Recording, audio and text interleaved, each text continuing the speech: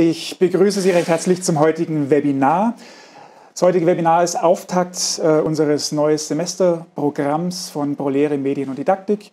Die erste Veranstaltung. Wir haben, glaube ich, ein ganz interessantes Kursprogramm für dieses Semester zusammengeschneidert und ich bin schon ganz gespannt, äh, wie wir heute gut reinstarten. Wir starten auch gleichzeitig heute äh, eine neue Webinarreihe mit dem Titel Good Practice oder gute Lehre, äh, mit dem Ziel, dass wir die Lehre, die gute Lehre einfach mal sichtbar machen, äh, mit Lehrenden in den Kontakt kommen, die positive Erfahrungen mit bestimmten Methoden oder Konzepten gesammelt haben äh, und dann vielleicht auch einige pfiffige Ideen einbringen, die man als Impulse aufgreifen kann.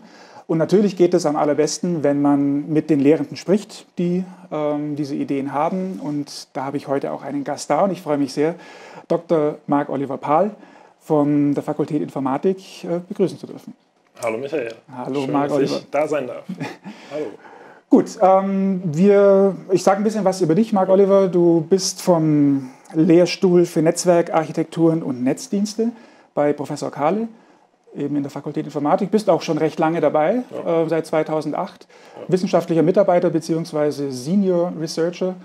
Ja. Ähm, also bist auch wahrscheinlich ganz aktiv in der Lehre zuständig für alles, nehme ich mal an. Genau. Ähm, du bringst so dein gesamtes geballtes Lehrwissen, was du so gesammelt hast, ein in vor allen Dingen einen Kurs oder in eine Veranstaltung. Das ist das iLab. Mhm. Über, die, über das iLab werden wir heute noch ein bisschen mehr hören.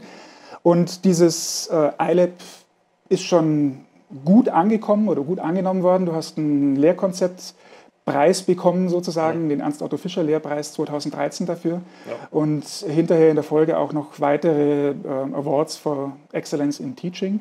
Ja. Ähm, also ein Konzept, das auf jeden Fall schon sehr gut angekommen ist. Genau. Ich was auch insbesondere bei den Studierenden gut ankommt. Also wir haben immer sehr viele Teilnehmer, was mit das größte Lob eigentlich ist. Ja, genau, das denke ich auch. Ein ja. Lehrpreis mit Geld ist immer was Schönes, aber ja. wenn die Studenten zufrieden sind, das ist dann doch immer ein bisschen ja. mehr wert. Gut, dann würde ich sagen, steigen wir ein. Ähm, interessieren würde mich natürlich als allererstes mal iLab, was ist das? Was ist das für eine Veranstaltung? Und vielleicht kannst du so in zwei, drei Sätzen mal umreißen, um was es da geht. Genau. Also iLab ist eine Veranstaltung, die ich 2003 schon begonnen habe und im Wesentlichen geht es darum, wenn man sich den idealen Studierenden vorstellt, dann hört er eine Vorlesung und danach setzt er sich zu Hause hin, schaut es nochmal an, was er sich dort angehört hat, vertieft es nochmal, übt es idealerweise sogar noch praktisch aus und hat es dann gelernt für sein ganzes Leben. Und so ist natürlich der Student, oder was heißt natürlich, der Student ist ähm, nicht immer ganz so motiviert, all diese Phasen zu machen. Und deswegen habe ich 2003 dann begonnen zu überlegen, okay, ähm, wie könnte ich dafür sorgen, dass die Studierenden in diese Richtung entsprechend aktiv werden? Und dann ähm, begonnen, ein Kurskonzept zu entwickeln, das ich seitdem zusammen mit verschiedenen Kollegen weiterentwickelt habe dann, bei dem eigentlich eine praktische Übung im Kern steht. Also es ist ein Laborkurs in der Informatik, das bedeutet, ähm, die Leute bekommen Aufgaben, machen die dann praktisch am Rechner im Laborraum entsprechend durch und ähm, da außenrum wurde entsprechend dieses Konzept gestrickt und ich habe insbesondere da E-Learning schon 2004 da eingeführt, was auch dann einer der ersten Kurse war, die E-Learning gemacht haben. Ähm, und das hat sich als super erfolgreich herausgestellt, weil es eben genau das schafft, die Leute, den Leuten genügend Incentives ähm, zu schaffen, dass sie dann sich tatsächlich aktiv mit den Lehrmaterialien beschäftigen und ähm, auch dann diese Glücksmomente haben, okay, wir haben jetzt entsprechend was getan oder wir wurden so ein bisschen gezwungen, das zu tun. Wir wurden zu unserem Glück so ein bisschen gezwungen, haben dann aber auch selbst diesen Erfolgsmoment, okay, wir haben jetzt praktisch irgendwas geleistet und praktisch was geschafft und das wirkt sehr bestärkend dann entsprechend. Aber bis du da hinkommst, dauert es natürlich ein bisschen. Es ist mhm. nicht immer so einfach, die Studenten dann wirklich zu motivieren, sich zum Beispiel vorzubereiten. Also wir haben ja jetzt so ein Setting quasi Vorlesung und Übung. Das ist ja so ein typisches äh, Setting an der Universität. Ähm, wenn die jetzt in die Übung kommen sollen, also in das Labor kommen sollen und da arbeiten sollen, dann brauchen die also schon Vorwissen. Genau. Wie, wie kriegst du die dazu, dass die eben vorher überhaupt was tun und nicht einfach in das, in, ins Labor kommen und dann sagen, schau mal einfach mal, was da ja. passiert? Genau, also vielleicht dazu noch, äh, die komplette Übung besteht aus verschiedenen Modulen und jedes Modul besteht aus vier Teilen. Der erste Teil ist immer die Vorlesung, der zweite Teil ist dann der Selbstlernteil, der innerhalb der E-Learning-Umgebung stattfindet, individuell. Der dritte Teil ist dann der praktische Teil, der zusammen mit einem Teampartner stattfindet und der vierte Teil ist dann noch die Prüfung. Wir haben zwei Prüfungen im Semester, den ersten nach der ersten Hälfte des Kurses und den zweiten dann am Ende. Ähm, was ich jetzt mache, ist, unser Konzept ist, dass wir in der Vorlesung den Leuten, wie üblicherweise in der Vorlesung, Kontextwissen bieten und auch schon mal Lust machen, was im praktischen Teil kommt. Also wir enden zum Beispiel auch mit einem Teaser dann, okay, ihr werdet jetzt später dieses und jenes anschauen. Danach haben sie dann eine Woche Zeit, sich in die E-Learning-Umgebung einzuloggen und da den Selbstlernteil durchzumachen. Das ist so ein bisschen wie ein Kursbuch, da stehen nochmal Texte drin, was sie entsprechend in der Vorlesung schon mal angehört haben, das dann nochmal vertiefend. Und zur Aktivierung sind Multiple-Choice-Fragen drin, die die beantworten müssen. Mhm. Diese Multiple-Choice-Fragen ähm, sind so aufgebaut, dass sie die Kernelemente dessen, was wir wollen, dass sie lernen sollen, Stichwort Constructive Alignment, dass sie dann eben die Sachen, wo wir sagen, okay, das sind die Kernsachen, dass sie die dann rausfinden. Mhm. Da, da war der Hintergrund, bevor ich überhaupt was von Constructive Alignment gehört hatte, dass ich das Gefühl hatte, ich kriege da ganz viel Text, der ist neu für mich und ähm, ich finde mich darin nicht unbedingt zurecht. Mhm. Und als Lehrender ist es aber so, dass ich ja sehr gut weiß normalerweise, was die Akzente sind, die ich da setzen möchte. Und die Multiple-Choice-Fragen sind eine gute Möglichkeit, das entsprechend zu machen. Die Multiple-Choice-Fragen sind auch nicht bewertet bei mir im Kurs, was sehr wichtig ist. Die Teilnehmer haben dann drei Versuche, entsprechend das rauszufinden, ähm, wissen, dass es nicht bewertet ist und sollen dann auch bewusst damit entsprechend spielen. Mhm. Ähm, diese und die Multiple-Choice-Fragen sind auch so ein bisschen ein Gamification-Element zur Motivierung, weil die auch ein anonymes Rating sehen. Also sie sehen dann, okay, ich bin der Fünfte in der Gruppe zum Beispiel und sie sehen auch insbesondere, mein Teampartner hat schon fertig gemacht, die Multiple-Choice-Fragen oder auch nicht. Ähm, das wirkt auch nochmal motivierend, dass sie da entsprechend weiter. Aber geht da nicht der Teampartner, also wenn die jetzt zu zweit sind, geht da nicht der eine her und sagt, ach du, ich mach's durch und ich gebe dir dann die Lösungen? Genau, also das können, können sie machen. Ähm, war auch was, wo, wo ich am Anfang, wo ich dieses E-Learning-System, das dahinter steht, äh, konzipiert habe, was ich mir überlegt habe, wo ich dann gedacht habe, okay, es wäre vielleicht ganz schlau, die Antworten durchzumischen zwischen den Teampartnern. Okay. Ähm, das hat nämlich dann den Seiteneffekt, wenn wir jetzt zusammen im Team sind und äh, du wirst mir helfen, dann äh, musst du mir die Lösung sagen. Also du musst dann sagen, okay, das Paket ist so und so lang, weil bla bla bla und das ist dann die Antwort. Das heißt, du hast dann nochmal das, Lern, das Lernziel wiederholt mhm. und der andere hat es auch nochmal gehört von dir. Das heißt, wenn du dann cheatest, dann hast du eigentlich sogar noch besser gelernt. Ach so, aber wie kommen die Studenten überhaupt dazu, ähm, das zu machen? Also ich meine, dann mache ich, halt die, mach ich halt diesen Test einfach nicht, oder? Also, ja. Würde ich jetzt so sagen. Also der, der, die Lehrenden hoffen ja immer auf die intrinsische Motivation, auf die hoffe ich auch. Zusätzlich ist es so, dass ähm, ich ja schon gesagt habe, nach diesem äh, theoretischen Selbstlernteil kommt der praktische Teil. Der Selbstlernteil ist super wichtig bei einem Laborkurs bei uns, weil um im Praxisteil dann die Challenges zu mastern, also sprich die Schwierigkeiten, wo Probleme auftreten, darüber hinwegzukommen und die zu verstehen, ist es, ist es essentiell, dass man das Vorwissen entsprechend hat. Und deswegen ist es so, dass in diesem System eine künstliche Barriere drin ist, die genau darin besteht, dass man die Multiple-Choice-Fragen alle beantwortet haben muss. Ähm, das bedeutet, auch, dass wenn man drei Versuche hat, dass man, wenn man keine Lust hat zu beantworten, dreimal Blödsinn angeklickt haben muss, was wir sehen können, was man aber machen kann, wo man dann sich vielleicht überlegt, okay, ich will da jetzt eher vielleicht nicht cheaten. Ähm, und das heißt, die sind dann gezwungen, das beantwortet zu haben, weil sie ansonsten technisch diesen Praxisteil gar nicht sehen können. Mhm. Das führt dann auch ein bisschen zu Peer Pressure. Insofern, wenn wir jetzt im Team sind und wissen, morgen ist unser, unser Lab-Tag und äh, ich bin noch nicht fertig, weil ich irgendwie geschludert habe, dann ist es wahrscheinlich, dass du mich anrufst, weil mir sagst, okay, mach mal hier das fertig, weil wir haben morgen unseren Laptop und wir müssen da entsprechend dran arbeiten. Mhm. Okay, und das also funktioniert, funktioniert sehr gut. Also, ja. Hast du da Ausfälle bis jetzt gehabt bei Studenten oder ist das kein Problem? Ähm, also was, was wir manchmal tatsächlich haben, ist, dass wir, wenn wir uns das angucken, dass wir sehen, okay, die Person hat irgendwie das Lab beantwortet fünf Minuten, bevor es losging mhm. und ähm, die Fragen wurden alle innerhalb von fünf Minuten beantwortet und es ist alles richtig. Okay. Das suggeriert natürlich, okay, die Person hat es da jetzt nicht so, äh, nicht so gemacht, wie wir es intendiert haben. Es kommt aber sehr, sehr selten vor. Aber Sie haben dann zumindest einen Teampartner, der es eben richtig gemacht hat, wahrscheinlich. Und genau, Sie haben, Sie haben mindestens einen Teampartner, aber das ist genau die Situation, die ich nicht haben will. Weil das führt dann dazu, dass wir zwar zusammen da sitzen, aber ähm, du bei den Problemen nicht richtig mithelfen kannst, weil du entsprechend nicht vorbereitet bist.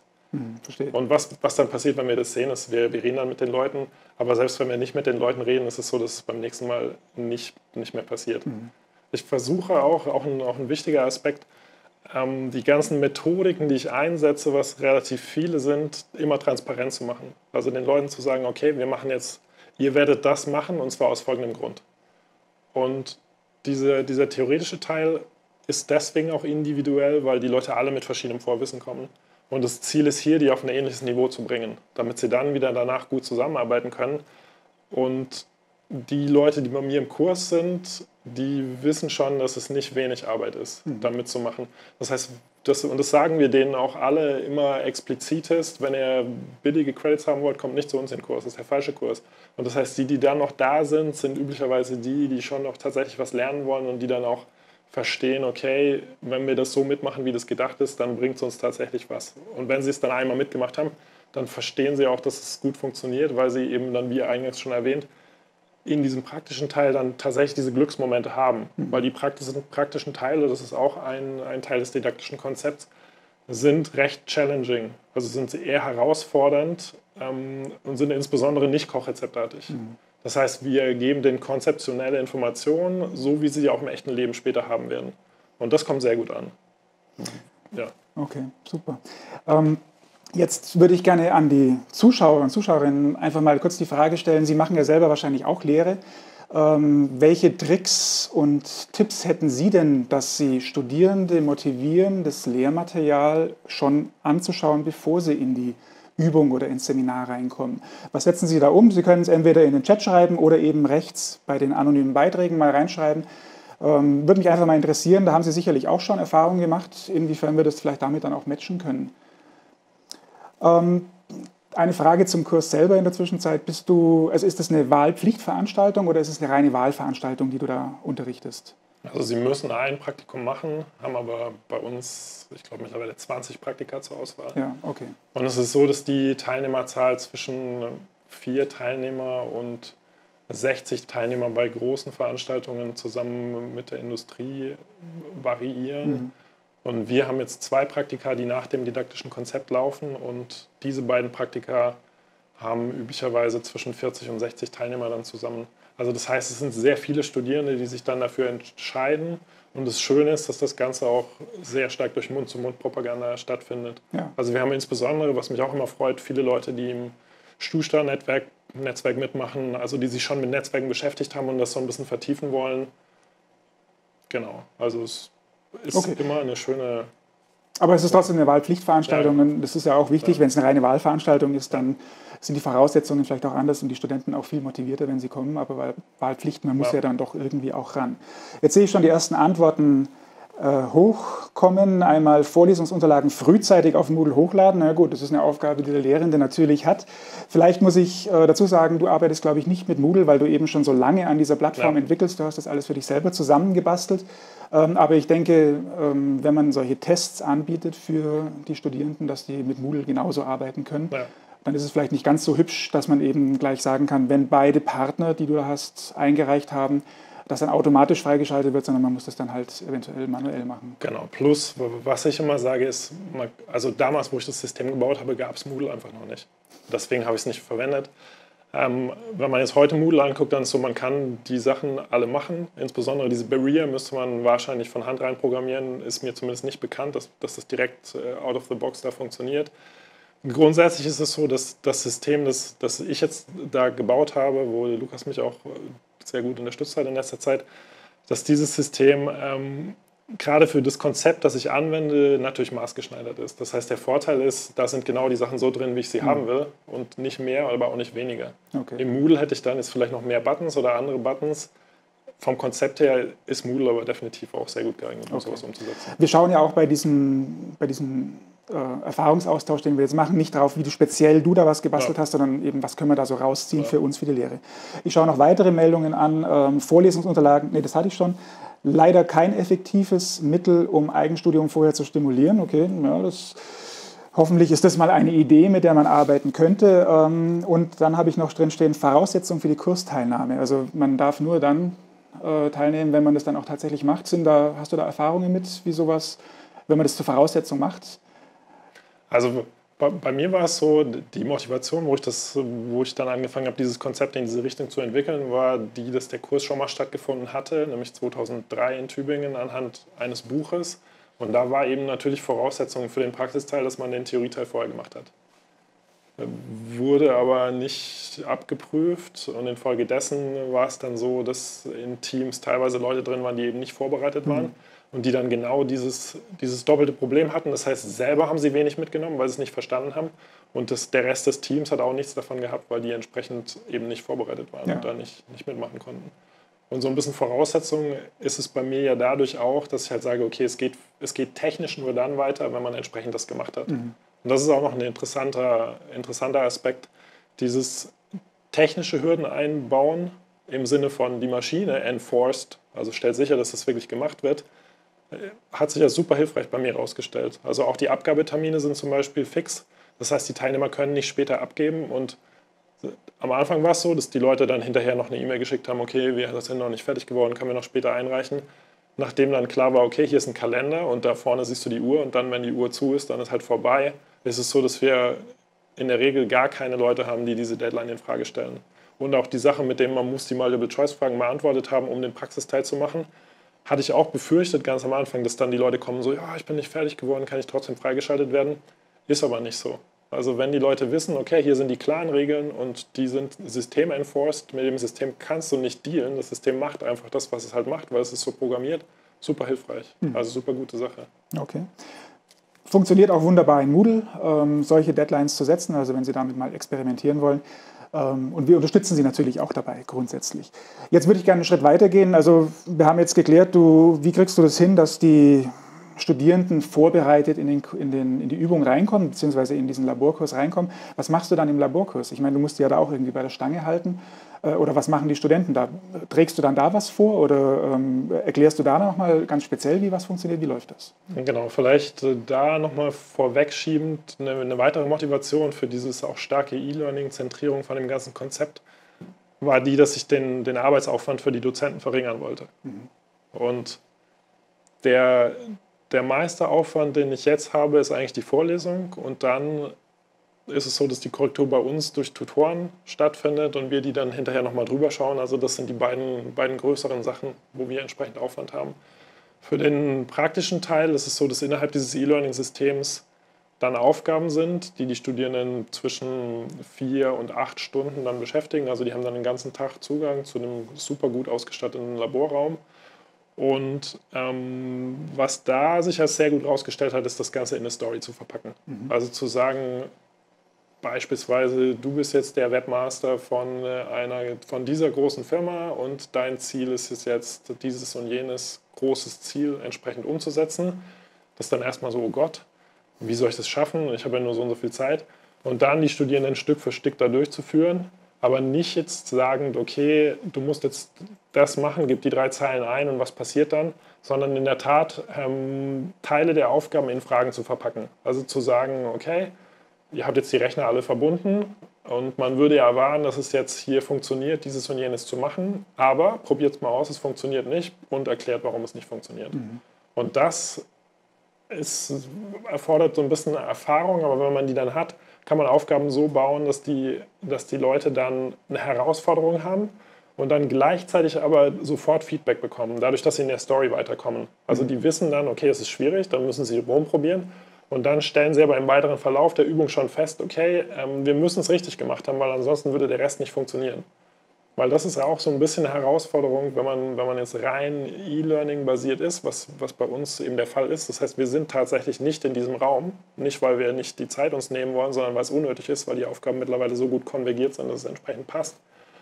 Ähm, und dann interagieren die ja nur mit diesem Online-System.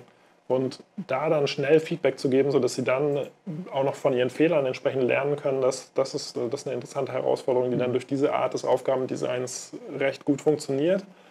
Die Bewertung unterscheidet sich dann tatsächlich nicht darin, ähm, haben die völligen Blödsinn gemacht und haben die was Richtigeres gemacht, sondern mehr, okay, alle haben es ungefähr richtig gemacht, aber die haben halt die Hälfte der Aspekte irgendwie vergessen aufzuzählen oder sowas. Mhm. Ja.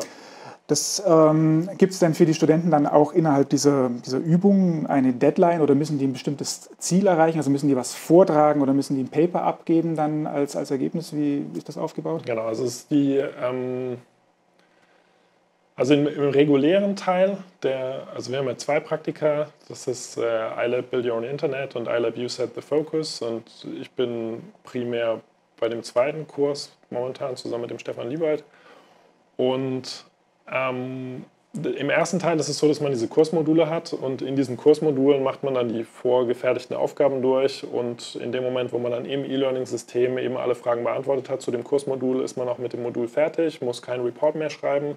Das heißt, man hat kein Overhead mehr gegenüber, wenn man noch ein Laborjournal oder sowas schreiben müsste, muss man bei uns nicht. Man beantwortet die Inline-Fragen und ist dann entsprechend fertig. Mhm. Also das ist eine normale Kurseinheit und dann in dem You Set the Focus habe ich noch eine besondere Kurseinheit, wo die Leute selbst die Rolle der Dozierenden einnehmen, wo also die Studierenden dann selbst Lehrmaterialien erstellen und auch Lehrmaterialien bewerten und sich auch anschauen, wie Studierende dann durch ihre Lehrmaterialien durchgehen.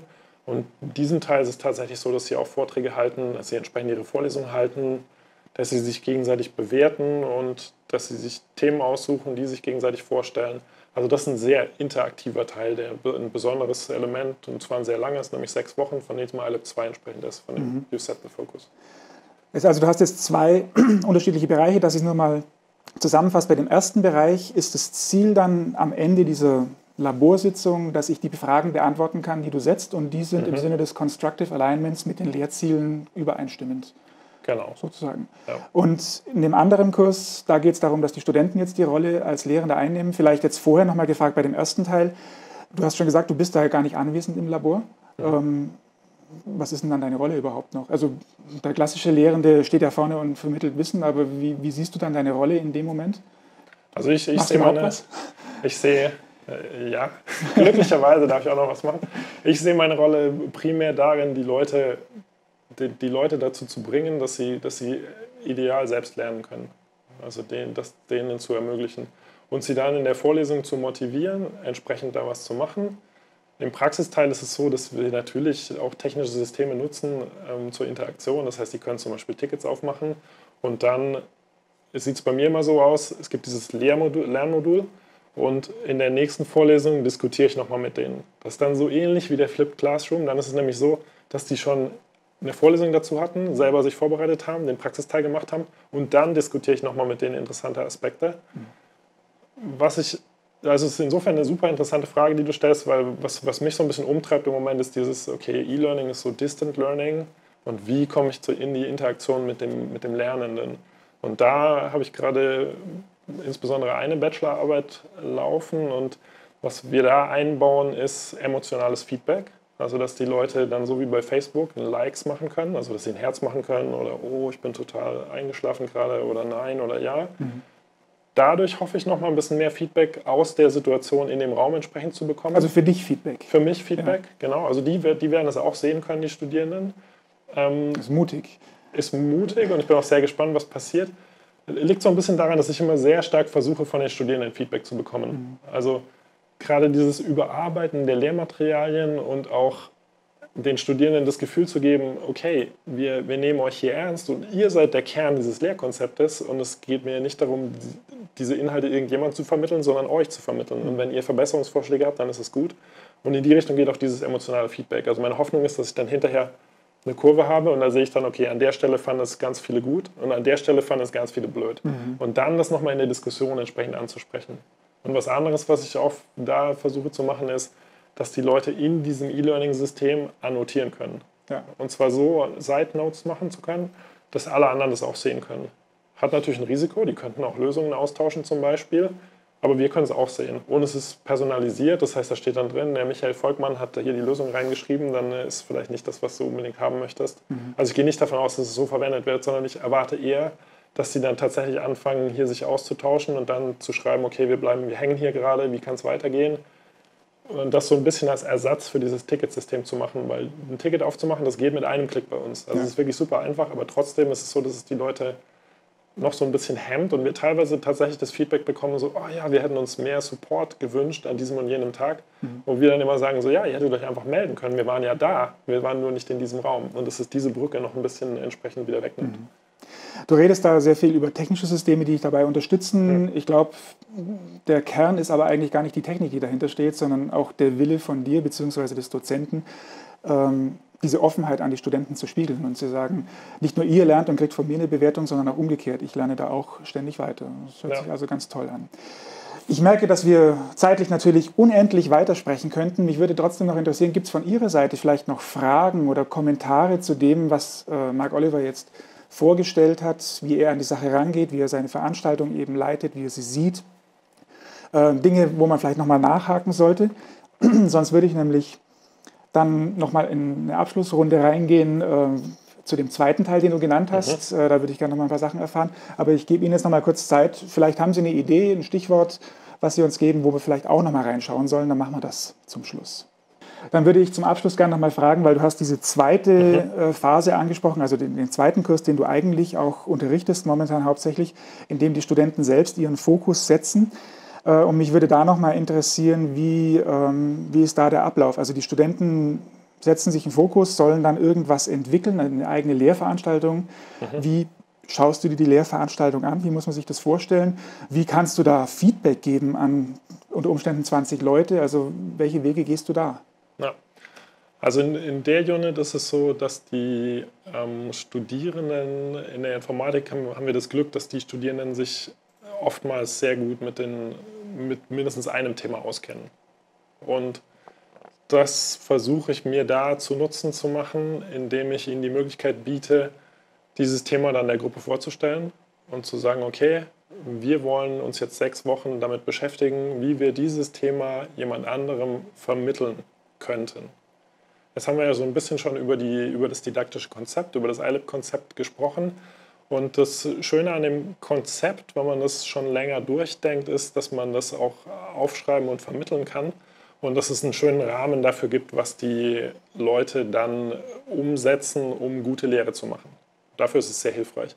Und genau das versuche ich dann mit den Leuten in sechs Wochen entsprechend zu machen. Das heißt, wir haben erst ein Brainstorming, welche Themen interessant sein könnten. Dann pitcht jeder Studierende ein Thema dann votet. Pitched, was, heißt, was heißt für dich Pitch? Das, pitchen? das bedeutet, Sie haben drei Minuten Zeit, um die Gruppe davon zu überzeugen, dass Ihr Thema besser ist als das Ihres Teampartners. Okay. Und danach wählt die Gruppe dann, also die, das sind immer Zweierteams und die stellen dann beide vor nacheinander und danach hat jeder Votekarten und dann wählen sie eins oder zwei und das Thema, das gewonnen hat, ist dann das Thema, an dem das Team entsprechend arbeiten wird. Und dann haben Sie drei Wochen Zeit, um dieses Thema vorzubereiten. Thema vorzubereiten heißt genau diese Teile, die ich gesagt habe. Also die Vorlesung müssen Sie vorbereiten, natürlich eine kleine Vorlesung und ein kleines Thema, weil die haben nicht so viel Zeit. Dann Wie viel Zeit haben die dann da? Ähm, die Vorlesung haben Sie sieben bis zwölf Minuten Zeit, die okay. entsprechend zu halten. Das passe ich immer an die Gruppengröße an, weil wir versuchen, das innerhalb von einer einzigen Vorlesung entsprechend dann mhm. abzuhalten. Dann bereiten Sie also die Vorlesung vor, diesen theoretischen Teil und den praktischen Teil. Ähm, da sage ich Ihnen immer, dass Sie vielleicht so fünf Seiten für die theoretische Vorbereitung und dann so fünf bis sieben Seiten für den praktischen Teil entsprechend haben sollen mit ungefähr zehn Fragen, für die Sie dann insgesamt 30 Punkte geben sollen. Und da gibt es dann mehrere Iterationen, das heißt, die bereiten es erstmal vor, dann bekommen Sie ein Review-Team zugewiesen, beziehungsweise jeder kann wählen, welches Thema er sich genauer anschauen möchte gerne und wird dann zugeteilt. Und dann gibt es einen praktischen Teil, in dem das Review-Team tatsächlich den kompletten Prozess durchläuft. Das heißt, jedes Team stellt dann seine Vorlesung kurz vor in der ersten Version. Danach macht dann das Review-Team dieses Pre-Lab, also diese theoretische Vorbereitung.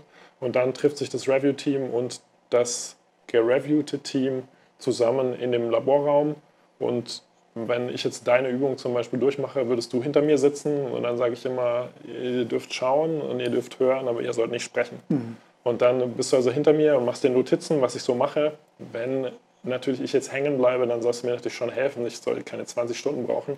Und das ist für die Studierenden immer super hilfreich, weil da stellen sie dann fest, so wow, ich habe gedacht, dass das super klar ist, was ich hier geschrieben habe und jetzt habe ich festgestellt, das ist überhaupt nicht klar. Mhm. Und das ist immer, immer sehr schön. Und Danach kriegen Sie auch nochmal ein strukturiertes Feedback, das ist auch Teil der Übung. Und dann haben Sie nochmal zwei Wochen Zeit, das entsprechend zu überarbeiten und halten dann nochmal die überarbeitete Vorlesung. Und die Materialien sind dann oftmals tatsächlich so gut, dass wir die dann im nächsten Semester anbieten, in dem Teil, wo die Studierenden selber Übungen auswählen dürfen. Also bei uns können Sie zwei Übungen auswählen in dem You Set the Focus Kurs. Und wenn Sie dann eins dieser sogenannten Mini-Labs wählen, dann überarbeiten wir das nochmal und dann können Sie es entsprechend durchführen. Und das ist ganz schön. Als Zusammenfassung heißt also, der ganze Kurs besteht darin, am Anfang Themenauswahl mit Pitching, Dann voten die, welches Thema das einzelne Team bearbeitet, dann bereiten die das auf, dann läuft es durch einen Review-Prozess, der auch von den Studenten komplett begleitet wird, da musst du auch nicht groß einschreiten. Ja. Und danach wird es ausgearbeitet und nochmal vorgetragen und darauf gibt es dann sozusagen eine Gesamtbewertung mhm. ähm, insgesamt. Genau. Das ist, das ist der, der grundsätzliche Genau, das ist der, das ist der grundsätzliche Prozess. Wichtig bei diesem Prozess ist eine, eine starke Begleitung in jeder Phase. Also dass man den, also was ich mache, was mein Teil da ist, ist, dass, dass ich ihnen mit meiner Erfahrung immer direkt Feedback gebe. Mhm. Und zwar auch immer vor der ganzen Gruppe. Ja. Dass ich von ihnen das Feedback einsammle, das dann nochmal bewerte im Sinne von, dass ich sie nochmal in den Zusammenhang stelle, was sie da gemacht haben und nochmal entsprechend komplettiere. Und ihnen eben dieses Konzept auch jedes Mal nochmal vor Augen führen. Mhm. Also es gibt mehrere Einheiten, wo es dann um die Didaktik geht, so müsst ihr das aufbauen, so geht ihr mit den, mit den Tools um und so bekommen die dann an vielen Stellen Feedback, was die Qualität ihrer Aufgaben auch verbessert, was natürlich in unserem Interesse liegt. Ja. Also und durch, und durch diesen Prozess und durch dieses permanente Coaching bei diesem Prozess ist so, dass die Qualität verblüffend gut ist. Mhm. Also ich habe das vor drei, vier Jahren eingeführt, glaube ich. 2013, ja genau, vor vier Jahren. Und es ist auch noch was, was wir immer wieder weiter noch verbessern und es ist jetzt schon in einem sehr guten Zustand und macht super viel Spaß. Weil das ist nochmal was, wo man wirklich super stark dann Interaktion mit den Studierenden hat. Mhm. Ähm, jetzt kommt eine Frage rein, die mich auch interessiert. Kennen sich die Studierenden, also deine Studierenden untereinander gut oder und welchen Einfluss hat es auf die Zusammenarbeit im Praktikum? Also wenn mhm. sie sich gut kennen, ist es wahrscheinlich leichter. Ja, also das ist, eine, ist eine sehr gute Frage und auch eine sehr, sehr wichtige Frage, nämlich dieses das Lernklima. Und je wohler sich die Studierenden in der Gruppe fühlen, desto besser lernen sie. Und da vielleicht eine interessante Anekdote. Ich habe immer die Schwierigkeit, wenn die neu zu mir kommen ins Praktikum in den ersten Stunden, die zu aktivieren. Weil ich will immer mit denen diskutieren. Und die wollen aber nicht mit mir diskutieren, weil sie eben dieses gewöhnt sind, okay, da steht jemand vorne, der redet mit mir und der interagiert aber nicht mit mir. Und das Eis dann zu brechen, dauert normalerweise so zwei bis drei Vorlesungen. Wenn man denen aber permanent das Gefühl gibt, okay, du bist hier gut aufgehoben, du bist hier wertgeschätzt, ähm, du kannst alles sagen, es wird dir jetzt nicht negativ ausgelegt, du wirst jetzt auch hier nicht bewertet, sondern es geht darum, gemeinsam was zu erarbeiten, dann ist es, ist es super hilfreich. Plus, ich habe auch sehr oft interkulturelle Teams, was daran liegt, dass meine Veranstaltung komplett in Englisch ist und insbesondere 2008, wo wir angefangen haben, gab es noch nicht so super viele Veranstaltungen in Englisch. Das heißt, wir haben eigentlich alle Austauschstudierenden entsprechend abbekommen. Auch was super Tolles, wo die interkulturell was lernen können. Auf die Frage wieder eingehend, also die kennen sich am Anfang nicht. Also es ist eher selten, dass Leute sich als Teams da entsprechend schon reinkommen, lernen sich in dem Praktikum aber sehr gut kennen, und zwar alle. Das heißt, in dem Team sowieso, also bei dir dann diese Lerneinheit sind, die sich dann super gut kennen, die auch danach dann auch gut zusammenarbeiten, nach dem Praktikum und auch zwischen allen Teams. Mhm. Also insbesondere in dem, in dem You Set the Focus Kurs, weil die da sehr viel präsentieren und dann interagieren müssen. Aber im anderen Kurs auch, weil sie entsprechend in dem Raum auch zusammen sind und auch vielleicht noch ein interessanter Teil des Konzeptes, ich ermutige die immer, sich gegenseitig zu helfen. Mhm. Ich sage ihnen immer, okay, wenn ihr zusammen in dem Raum sitzt und irgendjemand bleibt hängen, sprecht miteinander, behebt die Fehler zusammen, das ist alles kein Problem, solange ihr danach eigenständig dann die Antworten hinschreibt. Mhm. Also das ist eben dieser Helfen gut, aber dann irgendwo ist auch eine Grenze. Ab da ist dann, müssen wir uns wieder selber damit beschäftigen, was kommt, weil ansonsten wir natürlich auch feststellen, wenn die plagiieren. Das ist auch noch ein, vielleicht auch noch ein wichtiger Teil in Bezug auf Korrektur und Zeit, Zeitersparnis. Kreuzkorrektur ist was, was das E-Learning-System da entsprechend anbietet. Mhm. Super hilfreich, sowohl zur Fairness als auch zur, zur Beschleunigung der Korrektur. Mhm. Weil die, die Korrektoren sehen in dem System eins zu eins das Gleiche, was die Leute, die es durchmachen, auch sehen. Mit dem Unterschied, dass sie dann eben alle Antworten von allen Teams untereinander sehen mhm. und da entsprechend ähm, dann das raten können. Auch was, wo ich gerade noch ein bisschen dran forsche, wie man das verbessern kann. Okay. Ja. Letzte Frage mit einer Bitte um eine ganz kurze ja. Antwort. Wie tauschen sich die Studierenden aus? Die, machen die per E-Mail oder machen die hauptsächlich persönlich?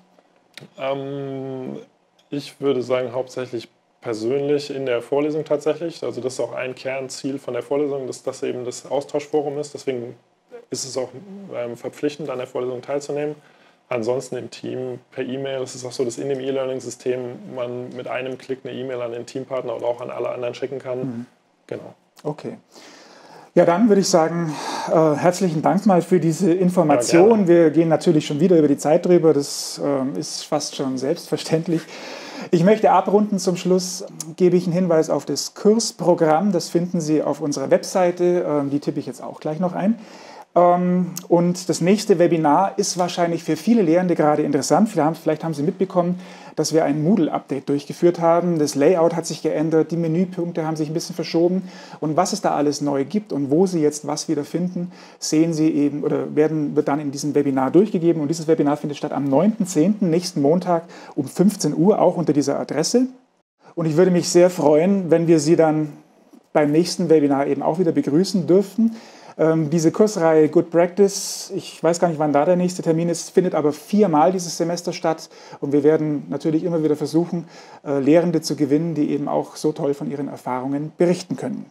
Falls Sie noch Fragen haben, die jetzt nicht geklärt werden können, stellen Sie die uns. Wir können die jetzt noch im Nachgang beantworten. Ja. Und ansonsten sage ich ganz recht herzlichen Dank, Marc Oliver, äh, dass du gekommen bist äh, und viel Erfolg weiterhin in deiner Lehre. Vielen Dank. Und an Sie alle herzlichen Dank fürs Zuschauen und bis zum nächsten Mal.